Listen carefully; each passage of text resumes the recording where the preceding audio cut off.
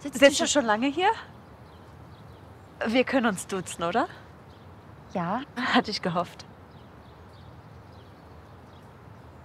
Hey, ich habe Tee dabei.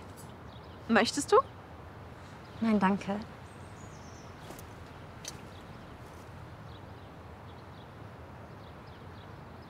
Ich liebe, wie ruhig es hier ist. Ich kam früher jeden Abend im Sommer hierher. Äh, Ich arbeite direkt da drüben. Und was ist da? Na, die österreichische Bäckerei. Hey, warst noch nie da? Da gibt's den besten Google-Hupf. Google-Hupf.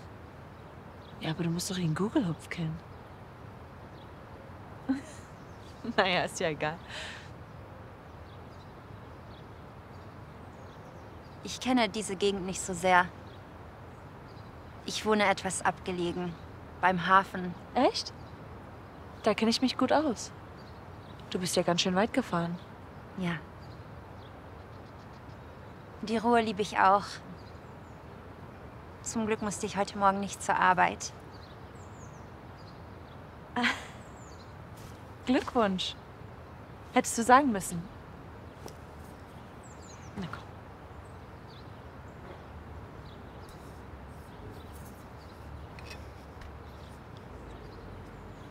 Weißt du was? Ich bringe dich in ein nettes Lokal. Lass dich verwöhnen, okay? Ach, ich weiß nicht. Hey, ich bestehe darauf. Was jetzt? Ja, wann denn sonst? Aber wir kennen uns doch gar nicht. Ja, noch nicht. Ich überrasche gerne Leute. Also, kommst du? Bist du vom Krankenhaus? Es tut mir leid, dass ich mich nicht an dich erinnere. Letztens, naja, ich, ich arbeite zu viel und anscheinend merke ich mir Gesichter auch nicht mehr. Ich kenne hier nicht so viele Leute. V vielleicht hast du diese Woche von diesem Riesenunfall gehört? Es gab so viele Verletzte. Und ich versorge momentan sieben Patienten. Da gibt es einer, der ist. Naja, es, es ging ihm gestern Abend gar nicht gut. Wieso erzähle ich dir denn das? Tut mir leid.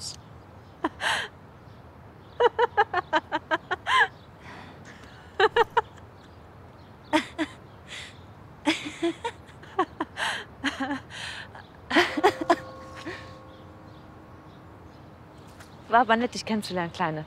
Ich hoffe, deinem Freund geht's bald wieder gut. Wir sehen uns, okay? Äh, Aber warte. Wie heißt du? Ich meine, ich kenne hier niemanden außerhalb des Krankenhauses. Vielleicht können wir uns näher kennenlernen. Mittwoch. Dieselbe Uhrzeit. Ich bring dir sogar einen Google-Hupf.